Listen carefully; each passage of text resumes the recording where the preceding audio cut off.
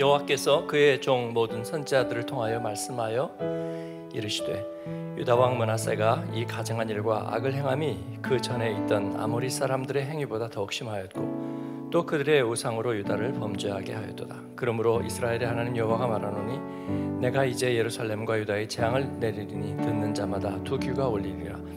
내가 사마리아를 잰 줄과 아합의 집을 다림 보던 추를 예루살렘에 베풀고 또 사람이 그릇을 씻어 엎음같이 예루살렘은 씻어 버릴지라.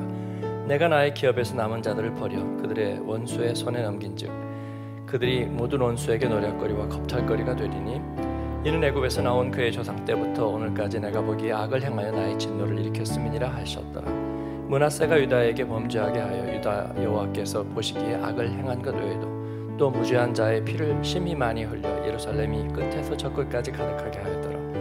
문하사에 남은 사적과 그가 행한 모든 일과 범죄는 유다 왕 역대지락에 기록되지 아니하였느냐. 문하사가 그의 조상들과 함께 잠에 그의 궁궐 동산 곧 우사의 동산에 장사되고 그의 아들 아몬이 대신하여 왕이 되니라.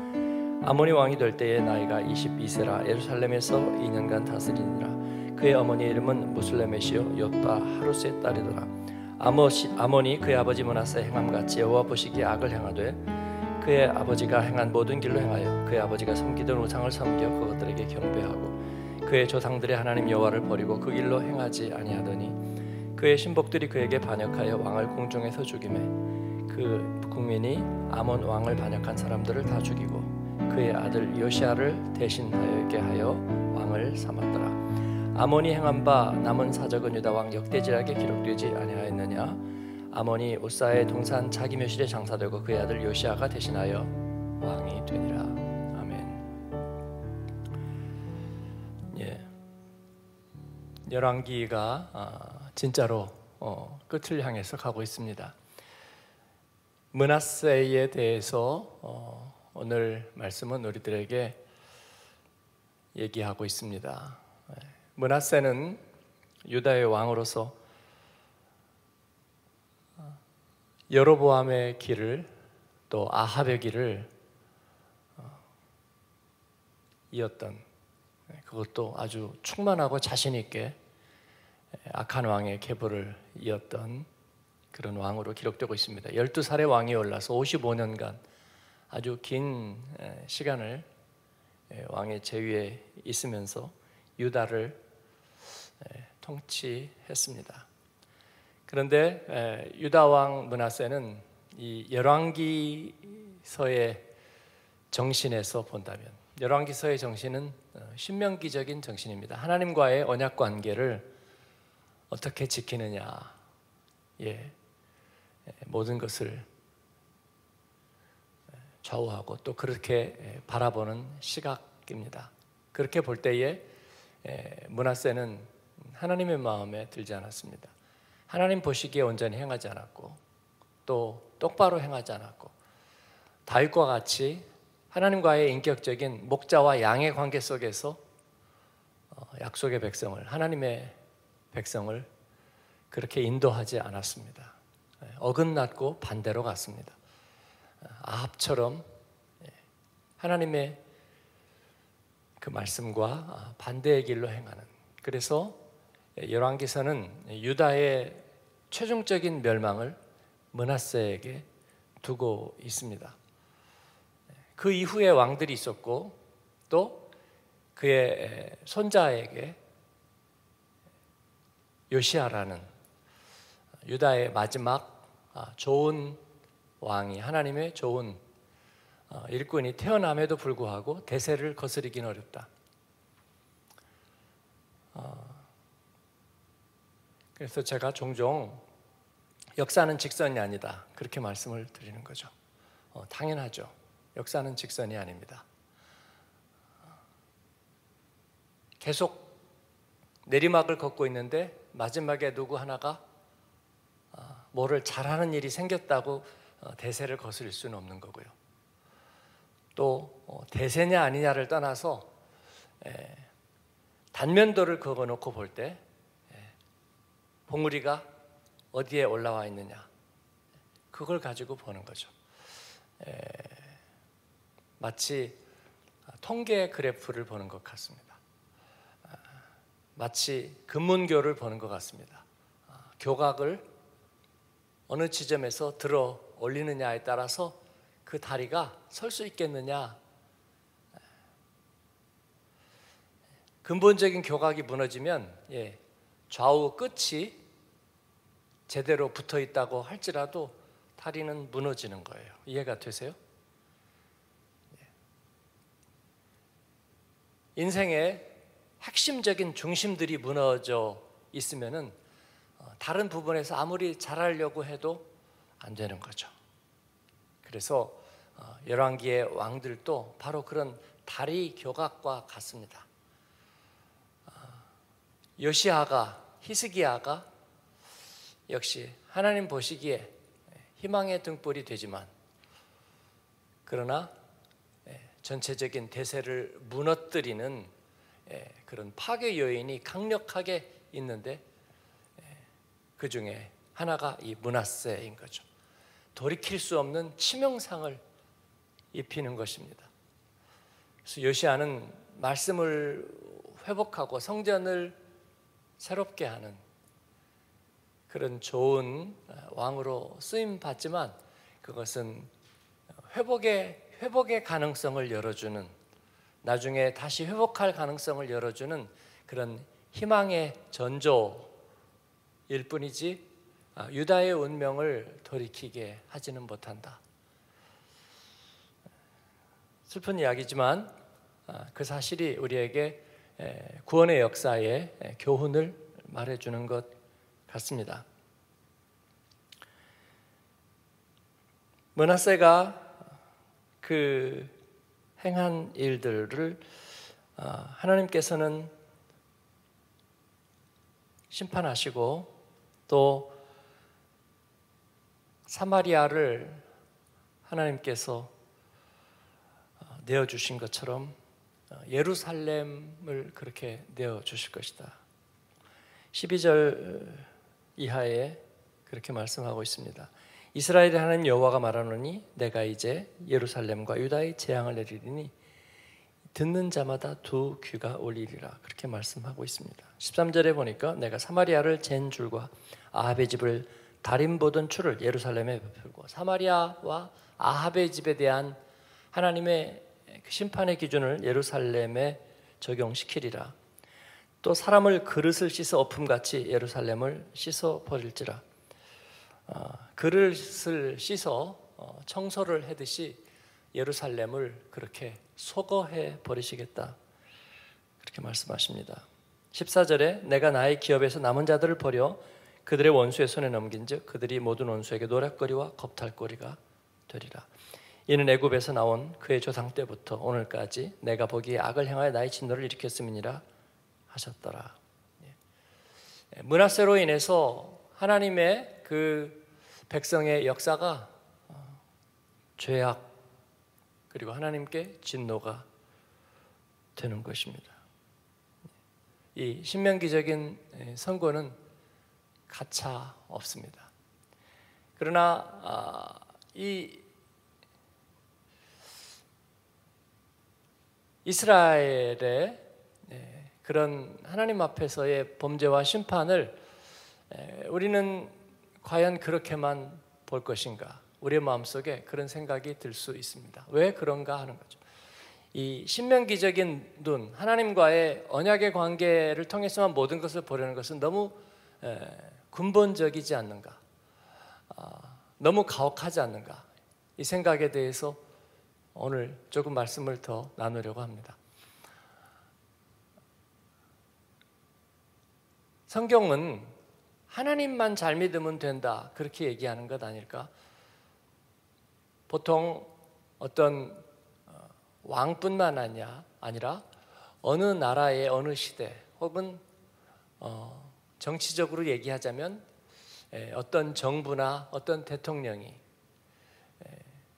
미국의 대통령들 중에서도 무슨 스캔들이 있었던 그런 정부들이 있었지만 또뭐 어 경제 공황 시대라든지 아니면 어떤 인권에 큰 분쟁이 있었던 시기라든지 어려운 시기를 지났던 혹은 냉전 시대를 겪었을 때라든지 어, 어려움을 많이 겪고 문제가 많이 됐던 시대도 있었지만 그러나 그 가운데서도 경제가 부흥했다든지 아니면 산업이 융성했다든지 같은 말인가요?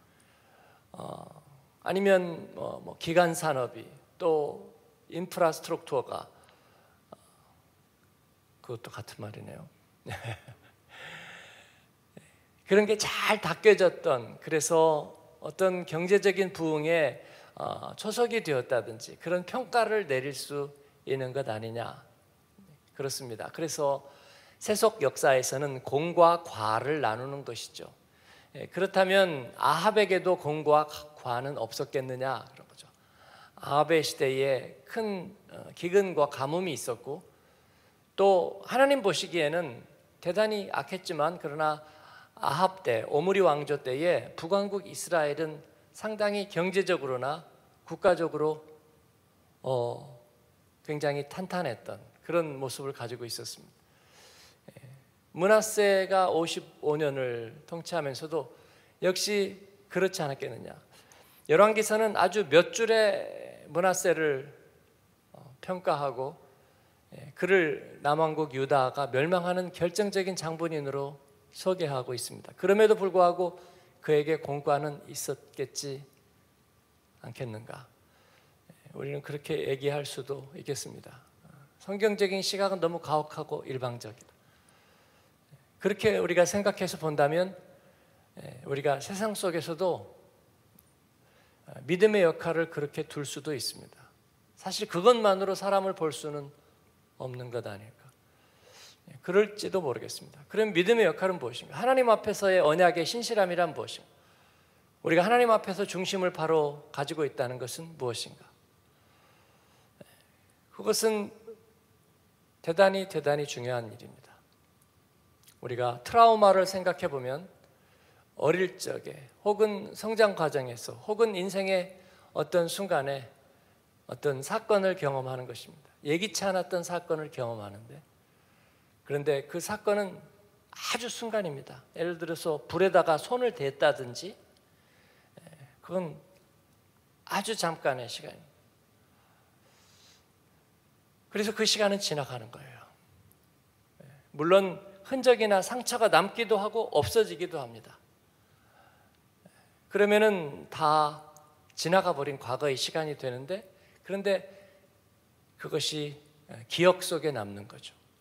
근데 그 기억이 근본적인 기억이 되는 것입니다. 내가 지워버려서 되는 기억이 있고 저절로 지워지는 기억이 있고 또 지워지지 않는 기억이 있습니다. 왜 지워지지 않을까? 우리의 뇌 속에 예, 저장된 기억이 다른 것도 쉽게 지워지는데 왜 지워지지 않는 기억이 있을까? 그러는 거예요. 예, 성경적으로 이해해 보자면 깊은 곳에 저장이 되는 것입니다. 예, 깊다는 말은 우리에게 굉장히 중요하게 여겨지는 예수님의 비유에 의하자면 옥토에 심겨지는 것과 같은 깊은 곳에 담기는 게 되는 거죠. 그래서 그 기억이 상처의 기억이 돼서 언제나 쓰라리게 하는 것입니다. 예. 그걸 우리는 어, 트라우마라고 얘기하죠. 예. 겉으로 보이는 상처가 아니라 마음에 남은 상처의 흔적입니다. 그래서 그 트라우마는 그 사람을 지배하죠. 그래서 우리가 피해의식이라고 얘기하기도 하고 열등감이라고 얘기하기도 하고 아마 어떤 예, 상처 입은 인생이라고 말할 수도 있습니다. 사람들은 이것을 해결하지 못해서 그것을 갖고 있는 사람에게 역기능 인생이라 톱니바퀴가 잘못 물려가지고 가는 역기능이라고 얘기하기도 하고 그렇게 얘기를 하는 것이죠. 예, 애에게 무슨 상처가 있는가? 어떤 아픔이 있는가 그렇게 보는 것입니다. 예, 그런데 이것은 어, 인생을 보는 절반의 시각입니다. 또 다른 절반으로 보자면 예, 트라우마와 상처를 통해서만 인생은 정의되지 않는다는 거죠. 그러면 무엇인가? 그 가운데 심겨지는 또 다른 기억이 있는 거예요. 우리가 하나님의 은혜를 경험한다는 것은 예, 우리 안에 없는 것이죠. 우리가 초래한 것이 아니죠. 그게 아니라 하나님께서 우리 가운데 베푸신 하나님의 손길이죠. 마치 불에 대인 자국처럼 성령께서 우리를 대게 하시는 거예요. 우리가 주님을 만나고 그로 인해서 우리 인생에서 어떤 새로운 메모리가 형성되는데 그것이 잊혀지지가 않는 것입니다. 제가 말씀드린 것처럼 우리 인생에서 예수님 만난 거, 또 우리가 하나님 체험한 거, 기도 체험한 것, 성령 체험한 것, 또 말씀 체험한 것, 이것들은 우리 안에서 지워지지 않습니다. 왜냐하면 깊은 체험이기 때문입니다. 내가 그렇게 모셔드리고 깊게 체험하려고 하지 않았지만, 그러나 깊게 체험되고, 우리 안에 새겨지고 또 우리에게서 떠나지 않습니다. 그까지 몇 번의 기억이 그리고 아무도 보지도 않고 나 혼자 체험한 것들이 무슨 힘이 있을까? 그러나 그것이 우리의 인생을 지배하지 않습니까? 주님 앞에 뜨거운 은혜 두 번만 체험하면 우리의 인생은 그것에 의해서 이렇게 들려집니다. 저는 이것을 다리에 교각, 교각을 들어 올리는 축이라고 말하는 거예요. 축. 두 개의 큰 축이 교각을 들어 올리듯이 우리의 인생을 들어 올리기에 충분한 것이 되는 것입니다. 두 번의 주님과의 결정적인 은혜가 예. 한번 갖고는 왜 안 되는가? 예. 다리를 생각해 보니까 하나 갖고는 안 되겠어요. 그죠? 하나 들어 올려 갖고는 안 되겠어요. 또 하나를 들어 올려야 되는 것이죠. 예. 그것은 지식이 아닙니다. 분명히 마음의 중심에 새겨지는 견고한 체험 같은 것이죠. 네. 그게 없으면 안 되는 거죠. 문하세에게는 바로 그와 같은 것이 잘못되어 있는 거죠. 마치 트라우마처럼 악몽처럼 네. 그에게는 그 하나님과의 선한 체험이 네. 그 깊은 은혜가 그의 인생에는 없는 거죠. 그렇기 때문에 그의 안에는 멈추지 못할 악이 계속되는 거죠. 악순환이 계속되는 것입니다. 다른 것을 잘해봐야 소용이 없는 거예요, 여러분. 네. 마음에 피해의식이 있거나 마음이 어두운 사람은 좋은 일이 생겨도 그것이 어둡게 나타나는 거예요. 그리고 모든 것들이 다 잘못된 결과로 비춰지는 것입니다. 모든 것이 거기에 비춰지는 거예요. 이것이 예, 문제입니다. 다윗에게 얼룩이 있지만 그러나 그 가운데는 하나님과의 결정적인 약속이 있고 그리고 컷오프를 넘어서는 하나님께 신뢰와 신용을 쌓는 결정적인 이야기들이 있습니다. 그렇기 때문에 그의 인생은 바로 그 체험에 의해서 비춰지는 것입니다. 시편에 의해서 다윗의 인생은 비춰지는 거예요. 하나님께서는 저와 여러분을 통해서 이 세상에 빛과 소금이 되기를 원하시고 또 구원의 모델이 되기를 원하셨습니다. 그래서 우리 인생에 지워지지 않는 하나님의 귀한 은혜의 흔적을 새겨 놓으시고 또 하나님의 사람으로 부르셨습니다. 우리 이후의 인생의 역사가 어떻게 흘러갈지 그건 알 수가 없는 일입니다. 그러나 우리는 하나님께서 우리 시대를 들어일으키는 하나의 축으로 그리고 설사 무너진다고 해도 히스기야와 여, 어, 요시아처럼 다시 회복할 수 있고 돌아올 수 있는 희망의 징조로 희망의 등불로 하나님께서는 우리를 사용하신다는 것입니다. 내가 그렇게 됨으로 뭐를 바꿀 수 있는가? 굉장히 많은 것을 바꿀 수 있습니다. 하나님은 흐름으로 보지 않으시고 누가 거기에 있었는가, 누가 빛이 나는가, 누구를 통해서 그 이정표를 통해서 다시 돌아오게 할 것인가를 하나님께서는 보시는 것입니다. 히스기야가 그렇게 해봐야 문하세가 나와서 죽을 수 없는데 무슨 소용이 있겠느냐? 소용이 있는 거죠. 예. 왜냐하면 히스기야와 요시아는 축이기도 하지만 징검다리이기도 한 것입니다. 그래서 그 징검다리를 밟고 하나님의 역사는 계속 되는 거예요. 우리는 트라우마가 아닌 하나님의 은혜입니다. 그래서 사람들에게 상처의 흔적으로 기억되지 않을 것이고 하나님께 결정적인 은혜로 기억될 겁니다. 교회의 역사, 디아스포라의 역사에서 우리는 하나님의 결정적인 은혜로 기억되는 거예요. 어, 니들이 뭘 그렇게 모든 걸 잘했느냐고요? 누가 그렇댔니까? 우리도 상처 입은 치유자이고, 예. 그리고 우리도 하나님 앞에 구원받은 죄인일 뿐인데 뭘 그렇게 우리가 다 잘했겠습니까? 그럴 리 없죠. 그러면 너희들도 다 쌤쌤이네. 그렇지 않습니다. 하나님께서는 우리들에게 결정적인 정보를 주셨습니다. 결정적인 은혜를 하나님께서 우리에게 허락해 주셨고, 그래서 우리를 축으로 사용하시고, 하나님 나라의 이정표로 사용하십니다. 여러분, 그런 확신과 또는 자부심이 있기를 바랍니다. 그리고 하나님께서는 우리를 돌아오게 하는 우리가 다음 세대가 돌아오게 하는 하나님 희망의 전조로 또 그런 이정표로 하나님 우리를 그렇게 사용하실 것입니다. 디아스포라는 상한 마음 또 쓰라린 마음 상처 빼앗기고 분열된 마음 정처 없음 그렇게 표현될 수도 있습니다. 그래서 교회에다가 그 말을 붙여서 무슨 이민교회의 아픔.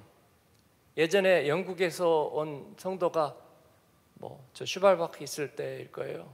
예, 우리 교회 무슨 프로그램에 오셔가지고 예, 전 나눔을 하는데 우리 교인 몇 분하고 같이 이렇게 나눔을 했나 봐요. 그러더니 그 다음에 나눔 때 그런 얘기를 아 이 교회도 이민교회의 아픔이 있군요. 그 제가 누구야 도대체 그 교회에서 우리 교회 얘기한 사람 누구야 색출해 우리 교회에 이민교회 아픔이 있어요. 여러분 한번 얘기를 해보세요. 이민교회 아픔이 뭔데요? 서로 인간관계 갈등, 예? 상처, 아주 자잘한 문제로 어, 서로 뭐 얼굴을 안 보는 예? 그런 분열과 대립이나 뭐 상한 마음 그런 거예요.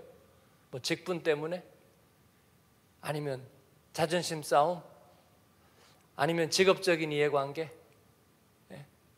뭐 분식집을 둘이 하는데 서로가 안 맞고 교인들이 거기에 따라 갈라져 있는 뭐 이런 거 아니면 또 뭐예요? 뭐 자녀 문제 때문에 가정 문제 때문에 계속돼서 내연되는 어떤 문제가 있다는 거 그런 거 이민교회 아픔이에요? 아니죠. 네. 그분이 건너 짚은 걸 거예요. 왜냐하면 의뢰, 의뢰 교회 공동체를 그렇게 보려는 거죠. 교회 공동체에는 늘 자잘한 자잘한 이해관계 갈등, 은혜 받지 못한 사람, 예, 이런 사람 저런 사람이 있어가지고 서로 갈등하고 있을 거다라는 행복하지 않을 거다라는 지레 생각하는 거죠. 아니요, 우리는 그걸 거부해 왔습니다. 그 실제로 그렇지 않았습니다. 어, 교회에서는 입을 조심해야지 얘기하지 마. 아, 목사님한테 먼저 얘기하지 마. 다 되고 나서 얘기해. 예, 소문 나니까. 실제로 가끔 성도들이 아, 목사님 이거 아직 얘기하지 않아서 얘기하죠. 그래서 내가 네, 절대로 얘기 안 할게요. 그랬더니 나만 빼고 다 알고 있어요. 네. 오케이. 네, 우리는 그렇지 않았습니다. 네, 우리는 얼리버드입니다. 네, 해외에 있고 디아스포라 교회니까 우리는 유행에 뒤지고 한국 가는 성도들이 한국 방문하면서 한국 갔다가 뭔가 달라진 모습에 빼앗긴 마음 갖고 오지 않게 해주세요. 예, 우리는 앞서가는데 무슨 예, 한국 가서 뭐를 뭐를 찾으려고 뭐를 보려고 하길래 예, 그들의 앞서가는 모습 때문에 빼앗긴 마음을 갖지 않게 해달라는 거예요. 예, 뭐 때문이죠? 아파트 값이 오른 것 때문에 아니면 아파트 인테리어가 아, 우리보다 훨씬 세대가 앞서 있기 때문에 또 뭐예요? 네. 소비 문화가 우리보다 훨씬 더 뛰어나기 때문에 뭐죠? 뭐가 앞서가는 걸까요? 사랑하는 여러분, 네. 우리가 왜 빼앗긴 마음으로 예, 우리의 삶을 바라보아야 되는 거죠? 예, 그럴 리는 없습니다. 우리는 하나님 앞에 아, 영광된 삶을 살아가고 있는 거예요. 하나님께서 우리를 그렇게 부르셨고 그런 기억으로 채우셨습니다. 예, 그러니 기뻐하고 기뻐하라. 우리 디아스포라 그리스도인들은 행복하고 기쁘고 즐겁게 가는 것입니다. 예. 미국에 있는 저희 예, 후배 목사님이 정말 성실하게 목회를 하는데 어, 며칠 전 메시지에 아, 좀 지치고 마음이 상했나 봐요. 그래서 아, 최선을 다하고 정성을 다했는데 예, 돌아온 게 그렇지 못하다고 어, 실망스러워서 며칠간을 그렇게 힘들었다고 제가 위로를 했어요. 왜냐하면 얼마나 그 목사님이 성실한 줄 알기 때문이죠. 그 사모님하고 둘이서 어, 연로하신 분들이 꽤 많은 크지 않은 공동체를 어, 물론 이제 미국이고 자기 교회도 있고 마당도 있고 뭐 텃밭도 있고 그런데 그 농사도 해가지고 예, 토요일 날이면 예, 그런 사진들을 종종 보내요. 예, 반찬을 이렇게 해가지고 떡을 해서 교인들에게 하나씩 다 드리는 거예요. 대단해요, 아주. 그리고 말씀 가르치는 것과 말씀 준비도 정말 성실하게 하고 어, 참 좋은 목회자인데 지친 것 같기도 하고 또 실망을 한 것 같기도 합니다. 예, 그래서 제가 그랬어요. 어, 디아스포라 30년 내가 왜 그 마음을 모르겠는가 정말 수고가 많았고 그리고 정말 주님의 이름으로 위로하고 싶고 네, 그렇긴 한데 예, 목양과 목회를 어, 취미 생활처럼 하면 좋겠다. 내가 정말 좋아하는 취미 생활. 예, 사진 찍는 걸 좋아한다. 그 사람은 실망하지 않죠. 예, 사진이 뭐 앵글이 잘못 나오거나 빛이 잘못 들어가거나 아니면은 생각한 것만큼 피사체가 어, 잘 드러나지 않았거나 아니면 네, 내가 어, 드러내고 싶은 어떤 그런 예술적인 효과가 잘 나타나지 않았다고 해도 실망하지 않죠. 어, 어차피 요즘은 필름도 안 들고 그리고 내가 좋아서 하는 거기 때문이죠. 예, 또 취미 생활은 누구와 하느냐 중요한 것 아니죠. 내가 아, 산에 가는 걸 좋아한다든지 그러면 꼭 누구하고 가야 되는 거 없죠. 예, 오늘은 이 사람하고 내일은 저 사람하고 그 다음에는 어떤 다른 사람들하고 가더라도 좋은 거죠. 왜냐하면 내가 산을 좋아하고 등산을 취미로 여기는 거지 꼭 누구와 가려고 그런 것은 아니잖아요. 그리고 취미 생활은 또 시간이 지나면 좋아집니다. 어, 옆에 사람이 볼 때는 그저 그런 것 같긴 한데 그런데 본인은 늘 발전하고 있다고 생각하고 또 발전하려고 생각합니다. 왜냐하면 자기가 좋아하고 사랑하고 애착하기 때문이죠.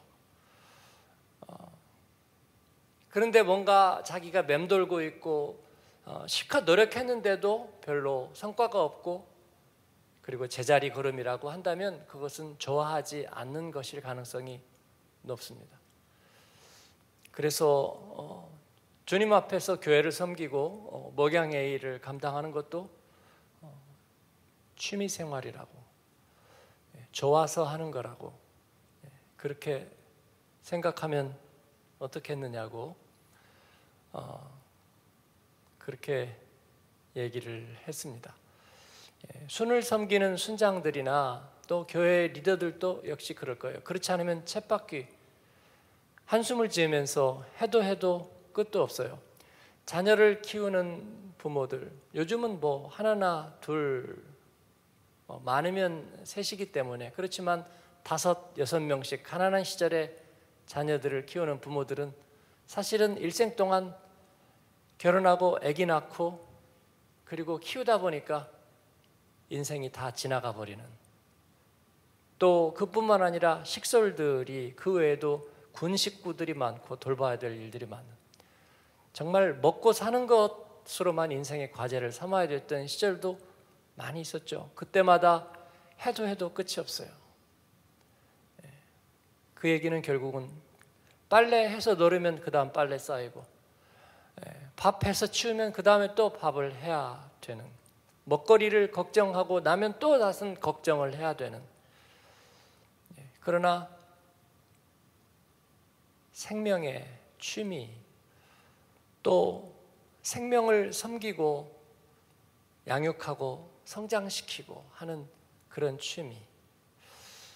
어, 선생님이 비슷비슷한 애들을 또 그 다음에 받는 학생들은 전에 반 애들보다도 못해요. 전에 반 애들은 탤런트가 있고 어, 또 좋은 능력이 있는 애들이 들어와서 그래도 어, 괜찮았는데 이 다음에는 아주 평균적으로 다 학습 능력이 떨어진다든지 학습 도구들을 스스로 챙기지도 못하는 애들이 온다든지 그러면 선생님이 보고서 하, 니들은 보니까 알겠다. 아, 니들은 알겠어. 예, 이 석석이는 것들 아무런 기대감이 없는 그것은 그가 너무나 수고했기 때문에 지친 것이 아니고 그가 취미를 잃었다고 말할 수 있죠. 그가 즐거움을 잃었다고 말할 수 있습니다. 우리가 하나님의 사람으로 살고 우리가 주님 앞에 예배하고 또 복음 안에 있으면서도 아유 이제 저도 배울 만큼 배우고 알 만큼 알았는데요 지쳤어요 라고 말하는 것은 그가 즐거움을 잃었다는 거죠. 하나님 보시기에 악한 것입니다. 신랑이 있을 때 신랑을 기뻐하지 못하는 것은 신랑이 나를 행복하게 못하게 해주는 것이 아니라 그의 마음 속에 그 기쁨과 사모함과 즐거움이 사라졌기 때문이에요.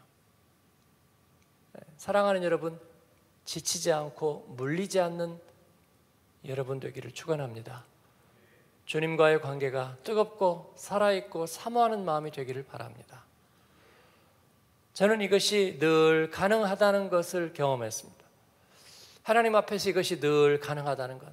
이것은 저 사람이 악착 같고 이를 악물고 끈기로 버티고 있는 게 아니라 이것은 샘솟듯이 우리 안에서 이루어지고 있는 거라는 것을 알았습니다. old member 그들의 이름은 지친 사람들. old member 그들의 이름은 물린 사람들. old member 그들의 이름은 더 이상 은혜 받지 못하는 사람들.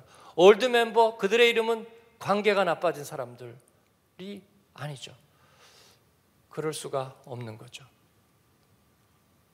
제가 종종 쓰는 표현, 우리의 아비와 어미들, 우리의 부모들. 예. 종소리만 울려도 성경책을 끼고 어, 교회로 향하는 그들의 발걸음이 가벼웠고 언제나 주의 성전에서 행복했던 사람들. 그들은 지치지 않고 물리지 않는 사람들. 시냇가에 심은 나무와 같았던 사람들. 우리도 그 가운데 있습니다. 주님을 아직 다 알지 못했고 그 비밀과 그 사랑의 비밀을 다 알지 못했습니다. 물린 표정 하지 마세요. 그리고 지쳤다고 말하지 마십시오. 우리의 취미 생활은 이제 아직 시작도 제대로 안 했을 뿐입니다. 그래서 주님께서 이 세상의 소풍을 그만하라 하실 때 사실은 그게 너무 아쉬울 겁니다. 아직도 발견할 비밀과 그 은혜의 풍성함이 아직도 가득한데, 아직도 가득한데, 네. 이 취미 생활이 우리를 얼마나 더 기쁘게 할지 아직 제대로 다 맛도 보지 못했는데, 산전수전, 모든 세상 풍진 다 겪은, 다 아는 것과 같은 얼굴로 그렇게 시름에 젖어 있는 모습은 주님을 기쁘시게 하지 못합니다.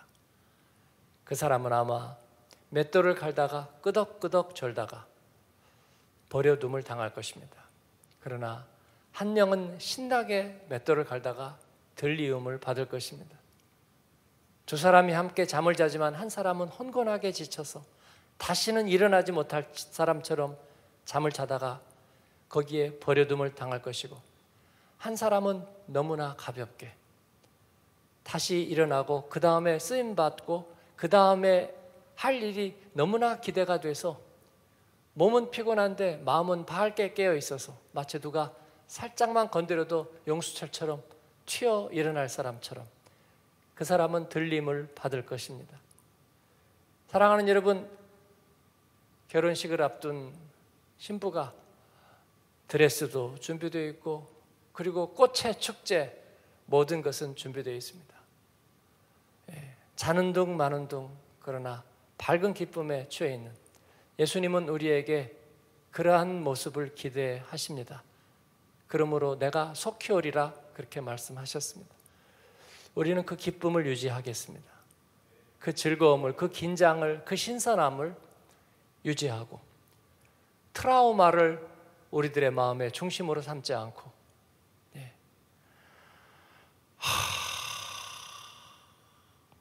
목사님은 부목사님은 새로우셨으니까 모를 거예요. 그지만 아셔야 돼요.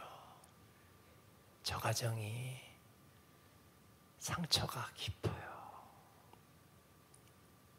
아픔이 많아요. 아이들 때문에 깊은 눈물이 있어요.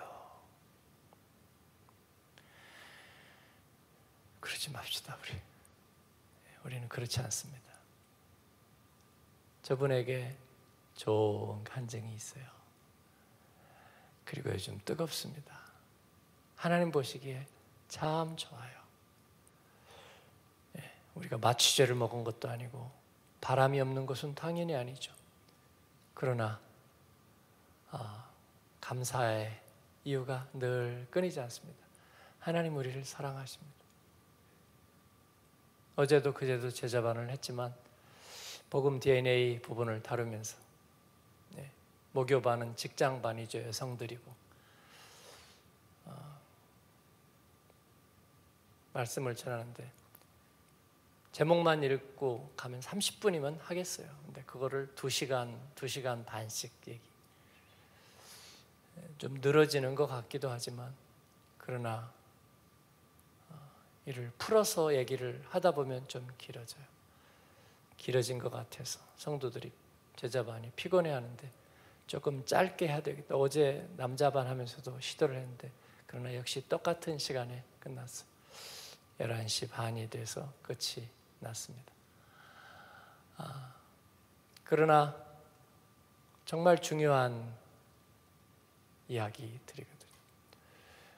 아무 데서나 다 어디 가든지 그게 복음 DNA의 그 내용들이 다 풀어져서 그 비밀들이 전해져 있다면 아무 데나 유튜브를 보든지 어디든지 가서 듣고 알아서 하라고 하겠지만 그러지 않거든요.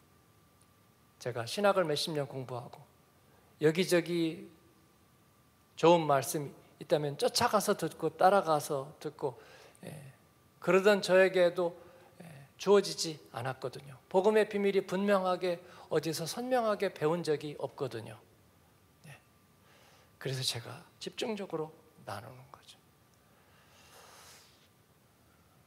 그리고 우리 성도들에게도 그냥 어, 피곤하고 힘든데 잠깐 몇 주 공부해 보는 것은 아니죠. 우리는 교각을 들어 올리는 축이고 모델이죠. 예. 우리는 취미 생활을 넘어서 어, 프로페셔널한 하나님의 부르심 받은 사람들이죠. 그래서 유럽 디아스포라의 모델이죠. 요즘 그래서 우리 제자반이 암송을 하면은 어, 또뭐 하면 우리 전도사님이 계속 찍어요. 왜 저걸 찍나? 함께 나누고 또 보여주기 위함이죠. 디아스포라에 우리는 모델이니까. 그래서 어제 남자반 하면서 아, 많이 찍어도 이게 나눌 게 없으면 곤란한데요. 우리가 예. 한마음 교회는 어, 제자 훈련 오래 하고 원조니까 어, 얼마나 좋으랴. 그런데 건질 게 별로 없다. 예, 그러면 안 되는 거잖아요. 한마음교회 재직은 또 한마음교회 사역자는 예, 잠들지 않는 사람들, 하나님 앞에 샘이 무궁한 사람들, 우리는 그런 예, 축과 같이 쓰임 받는 대표자들이거든요. 하나님 앞에 문하세처럼 기억되지 않고 히스기야처럼 기억되는 저와 여러분 되길 바랍니다. 아, 이것은 마음이 무겁고 다리가 무거운 것이 아니라 어깨가 짐이 되는 것이 아니라 어, 기쁨과 자랑이 되는 것입니다. 어,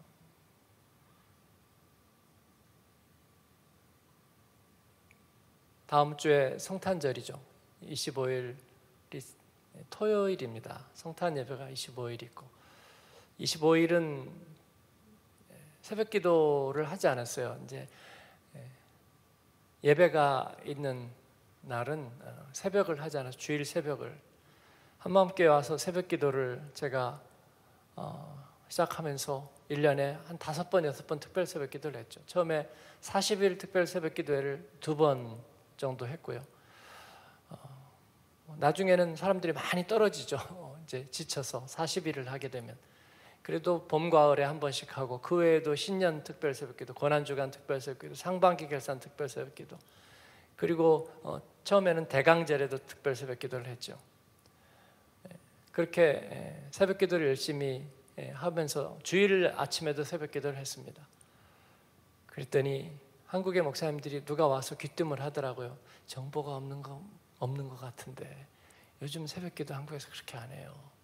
특별 새벽기도 그렇게 무식하게 예, 밥 먹듯이 특별 새벽기도 하지 않는다고 예, 그렇게 귀뜸을 해주셨어요. 그리고 주일날은 새벽기도 하지 않는 거라고 왜냐하면 예, 주일날 너무 피곤하니까 그리고 목회자가 주일날 강단에 쓰는데 피곤한 얼굴로 쓰는 건 성도들에게 도움이 안 돼요. 본인은 새벽기도 하는 줄 알겠지만은 성도들은 주일에 한 번 예배드리러 오는데 피곤한 목회자를 보고 싶어 하지 않는다고. 그 말이 저에게 어, 약간 예, 애통함이 됐어요. 실제로 그랬거든요. 제가 주일날에 이렇게 피곤한 모습으로 어, 서 있는 모습이 그래서 아 주일날은 새벽 기도를 쉬어야 되겠구나 생각했어요. 뭐, 뭐 세련된 교회들은 일주일에 한 번 하기도 하고 네. 아니면 월요일은 목회자가 쉰다고 해서 월요일은 새벽 기도를 쉬기도 하고 예, 저희도 그런 생각을 해봤어요. 그런데 월요일은 성도들이 한 주간을 시작하면서 굉장히 중요한 날이거든요. 하나님 앞에 힘을 얻어야 되는 날이죠. 뭐, 토요일은 그래도 시간이 있기 때문에 가족들과 함께 또 새벽기도 할 수 있는 날이죠. 주일 날은 쉬었어요. 그러나 그 외의 날은 어, 쉬지 않았습니다. 성탄절도 새벽 기도를 드리지 않았어요. 그런데 어, 어제 다음 주간 어, 계획을 하면서 어, 성탄절 새벽 기도를 어떻게 할까 하는데 어릴 때 새벽송 생각이 났어요. 네, 여러분도 새벽송 경험이 있으신 분이 아마 여기에 많이 계실 거예요. 24일 날 크리스마스 이브 때는 이제 교회 나오면 항상 뭔가 이벤트가 있죠. 예, 교회 나와서 성탄절 보내고 교회 나오는 것보다 더 재밌는 이벤트는 없었어요. 교회 나와서 성탄절을 보내고 밤을 꼬박꼬박 세우고 어릴 때도 그리고 나면 이제 새벽송을 돌죠. 성도들 가정마다 가서 또 뭐 양로원 앞에도 가고 고아원에도 가고 예, 새벽송을 돌았습니다. 그 기억이 나고 그래서 우리 어, 교회 마당에서 어, 새벽송 예배를 드리면 좋겠다 생각하니까 기분이 좋아졌습니다. 그 전에도 예배가 있고 또 바로 이후에도 예배가 있고 그 다음 날은 주일날이지만 그러나 어, 우리가 새벽송 밖에서 예배 드리고 안에서 커피 한 잔 마시고 그리고 집에 갔다가 성탄절 예배를 드리면 좋겠다. 제가 성탄절 때는 성탄 찬송이 다 좋거든요. 그죠? 예. 오 베들레헴 작은 별 그것도 좋고 노엘 노엘 그것도 좋고 동방 박사 세 사람 그것도 좋고요. 또 어, 고요한 밤도 좋고요. 예, 오 작은 마을 베들레헴 너 잠들었느냐 그것도 좋고요. 근데 예배가 한 번밖에 없고 너무 금방 지나가 버리는 거예요. 며칠 전부터 어, 고요한 밤 부를 수는 없잖아요.